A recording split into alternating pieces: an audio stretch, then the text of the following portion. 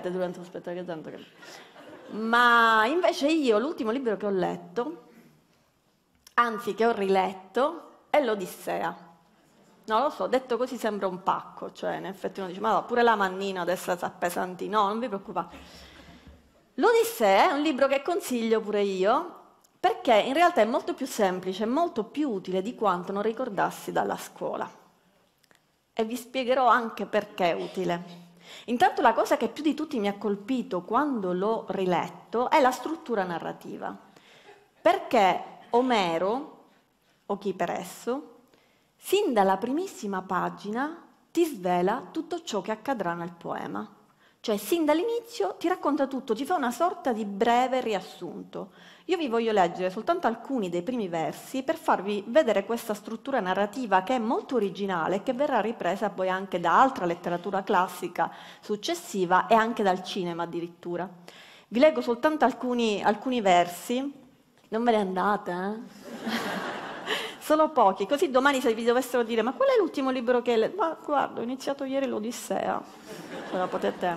Guarda, vi leggo soltanto questi versi, ma in realtà in, queste, in tutta questa prima pagina, sono i primi 25 versi, lui fa questa sorta di riassunto.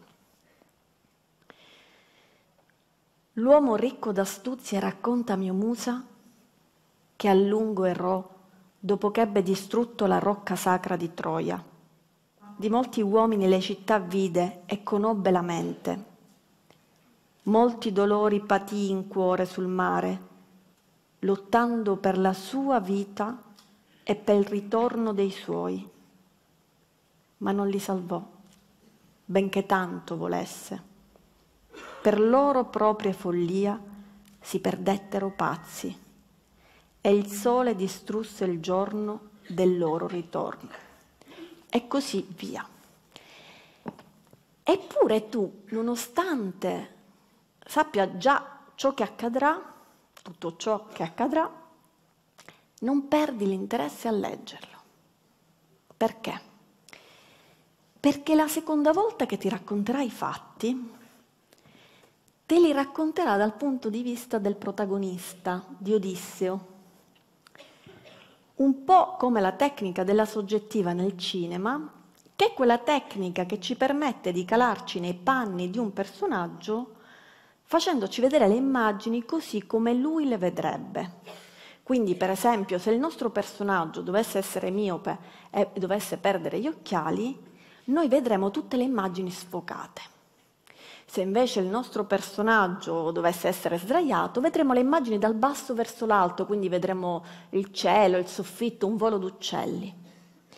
Un po' come quando tu telefoni a tuo marito e gli dici, amore, ho fatto un incidente con la tua macchina nuova. Lui non è che perde l'interesse anzi vuole sapere che cosa è successo, di chi è la colpa, che cosa si è fatta la macchina. E il momento più interessante sarà vedere come reagirà davanti alla macchina distrutta. Quello è il momento che Omero chiama del pathos. E tuo marito della sfigas. Tuo marito buttato sul cofano che piange alla stessa notizia una donna reagirebbe in maniera completamente diversa. Se ti telefona tuo marito e dice amore ho fatto un incidente con la tua macchina nuova ma non ti preoccupare non mi sono fatto niente ma comunque passa in ospedale e mi accompagna Paola.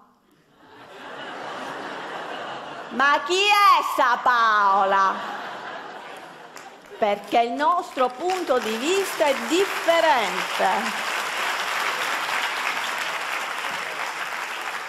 E l'Odissea questa cosa ce la spiega benissimo, ragazzi, leggetevela, perché nell'Odissea si legge perfettamente qual è la diversa psicologia degli uomini e delle donne, di questo eroe Odisseo che viaggia in giro per il mondo, della donna Penelope che lo aspetta e anche di tutti i rapporti tra uomini e donne, perché lui incontra diverse donne e ogni rapporto è differente. Allora vi faccio un breve riassunto per chi non avesse letto l'Odissea, questi di questo lato che non l'hanno letto.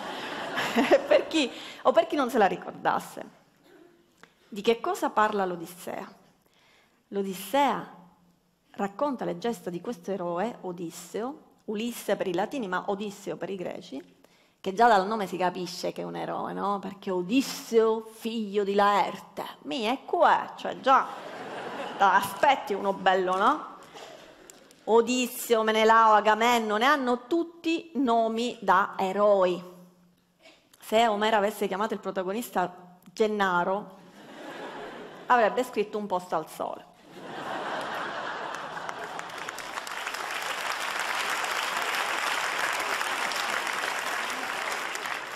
Quindi di che cosa parla sto Odissea? Finita la guerra di Troia, che vede il nostro eroe come protagonista perché lui ad escogitare il famosissimo cavallo di Troia, finita la guerra di Troia, Odisseo deve tornare a Itaca, la sua patria, il suo regno, la sua isola. L'Odissea ci racconta proprio questo viaggio di ritorno da Troia a Itaca. Io vi voglio fare vedere la cartina geografica.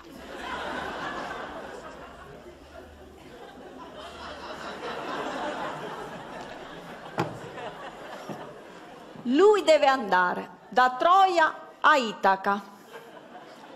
Ce l'hai di fronte. Non ti puoi perdere. Ci sono 580 miglia.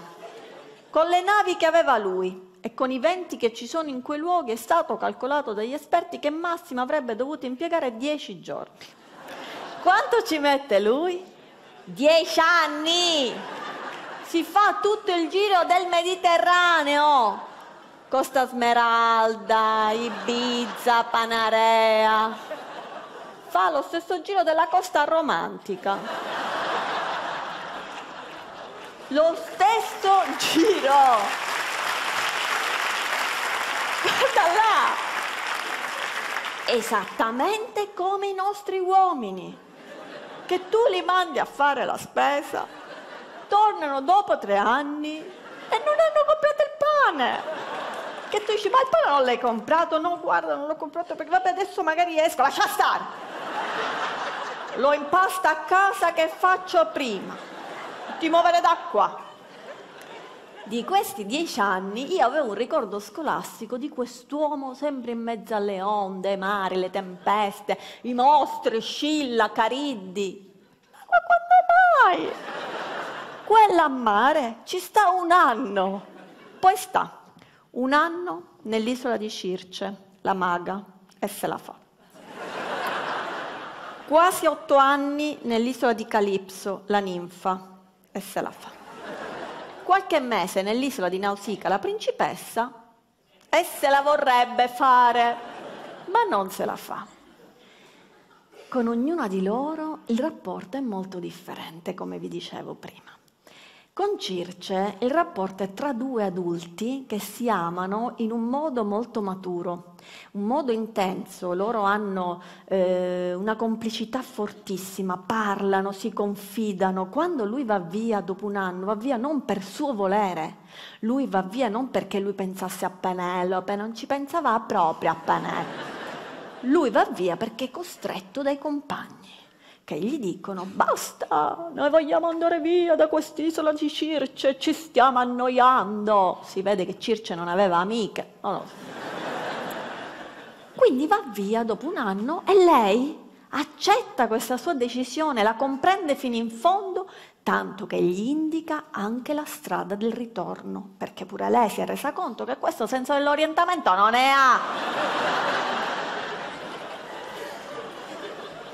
Calipso il rapporto è molto differente perché lei è diversa e quindi cambia l'intreccio. Lei è una donna passionale, quindi il legame è fondato sull'erotismo. Lei vorrebbe addirittura sposarsi Odisseo, gli vorrebbe regalare l'immortalità. Figurati, gli uomini si terrorizzano del matrimonio, figurati sposarsi con una che non muore mai. Se ne scappa quello, se ne scappa non ce la fa. Ma è con Nausicaa che noi ci rendiamo conto del perché quest'uomo è considerato un eroe da Omero e dai greci, perché fino ad ora non ce ne siamo resi conto, è giusto? Un eroe senza il senso dell'orientamento può essere mai? Poi dice nella prima pagina l'uomo ricco d'astuzia. Allora, ti metti a mare, no? Devi navigare per anni e per anni, la prima cosa che fa, uccide il figlio del dio dei mari. Cioè ti metti contro l'unico che non dovevi fare incazzare. Ma quando incontra Nausicaa, noi finalmente ci rendiamo conto del perché è un eroe. Lui sbarca sull'isola di Scheria, naufrago, stanco, sporco, reso brutto dalla dea Atena, Nausicaa lo vede per la prima volta nudo e dice vieni a casa che ti presento i miei genitori. Ed è lì che ci rendiamo conto del vero punto di forza di quest'uomo. Odisseo era un eroe perché è superdotato.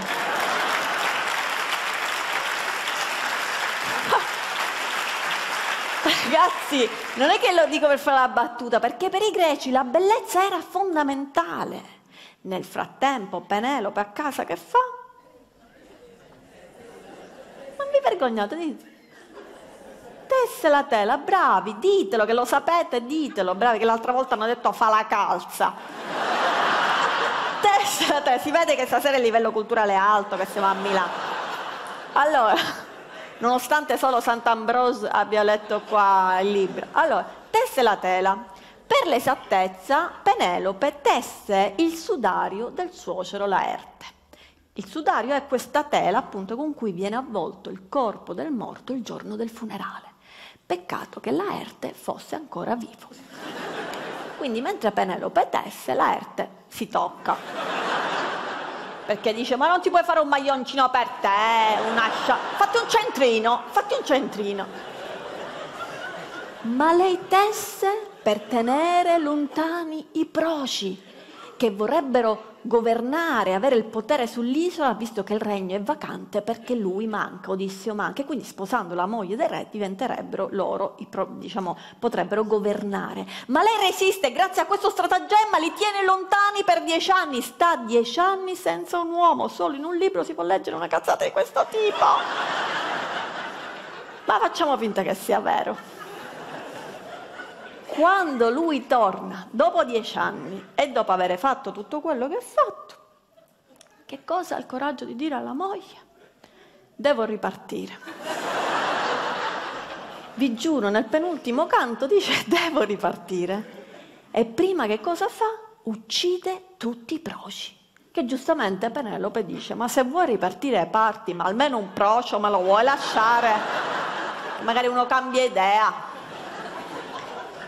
Io penso che la figura di Penelope vada un po' rianalizzata e anche un po', insomma, va rivalutata, perché spesso viene identificata, considerata una donna quasi un'antifemminista, perché è la donna remissiva, no? che aspetta, che, che, che, che, subisce un po' una, de- una, decisione, un destino e che eh, perdona i tradimenti. Penelope non perdona i tradimenti. Penelope semplicemente non viene a sapere dei tradimenti, perché ai tempi di Penelope non esisteva Whatsapp, non esisteva internet, altrimenti dopo dieci giorni di navigazione a Penelope sarebbe arrivato un messaggio su Facebook con scritto Circe stretta amicizia con Odissio che Circe sicuramente qualche cosa stringeva, ma non era certo l'amicizia.